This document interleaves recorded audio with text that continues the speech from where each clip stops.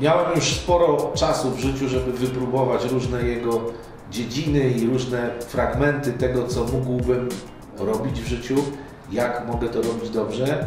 Przekonałem się o tym, że tylko wtedy, kiedy idę za swoim własnym instynktem, za tym, co mnie pasjonuje, kiedy w biznesie kreuję, kiedy w sporcie konkuruję i kiedy na koniec jeszcze potrafię się radością i czymś nie tylko jak radość podzielić z innymi, wtedy czuję się spełniony.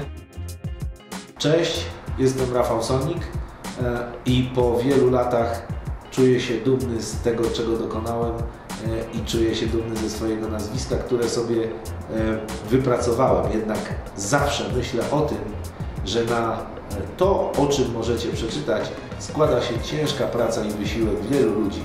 I ci ludzie stanowią moją drużynę. Jesteśmy z nimi bardzo zżyci, jesteśmy z nimi razem od lat dobieramy następnych, ale rzadko kto odchodzi, bo w życiu najwięcej osiąga się wtedy, kiedy za Twoją pasją potrafisz pociągnąć następnych, zbudować z nich drużynę. Więc jeśli myślicie o Rafał Soniku, to myślcie przede wszystkim o facecie, który zbudował drużynę. Wygrał Dakar, ale z tą drużyną. Wygrywa w biznesie, ale z drużyną. Wygrywa również w wielu pożytecznych projektach, ale za każdym razem jest to drużyna. Drużyna sprzątająca Tatry, plaże, drużyna, z którą budujemy od lat poczucie wspólnoty z naszymi seniorami i e, przyjaciółmi na Gazpromie Wierchu i seniorami olimpijczykami. E, budujemy w życiu wartości, z których później można korzystać wspólnie.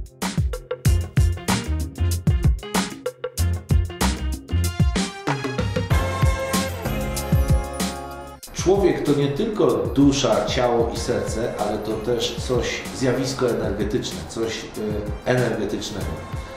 Nauczyłem się, że y, przekazujemy sobie nawzajem energię. I nauczyłem się też, że przekazując dobrą energię innym, prędzej czy później dostanę również dobrą energię od ludzi. Ta energia jest w spojrzeniu, we wzroku, w gestykulacji, w mimice, w zachowaniu wobec innego człowieka. Jestem przekonany, że ludzie to takie chodzące żarówki. E, I jeśli chcesz do innych odwrócić się jasną stroną, to bądź pewien, że prędzej czy później ta jasna strona od innych ludzi do Ciebie wróci. Wzmocni Cię, da Ci energię i spowoduje, że to, co wydawało Ci się strasznie trudne, będzie osiągalne. Tak było w moim przypadku, tak jest w moim życiu i wierzę w to, że zawsze możemy dać sobie coś dobrego.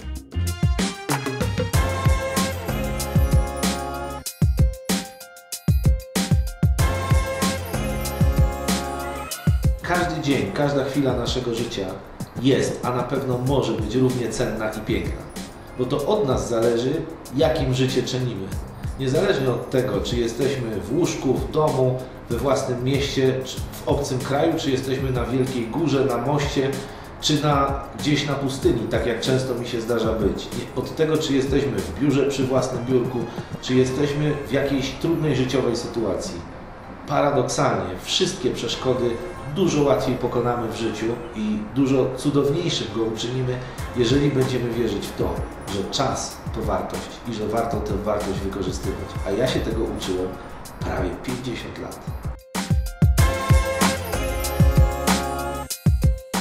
Dzieciom TV.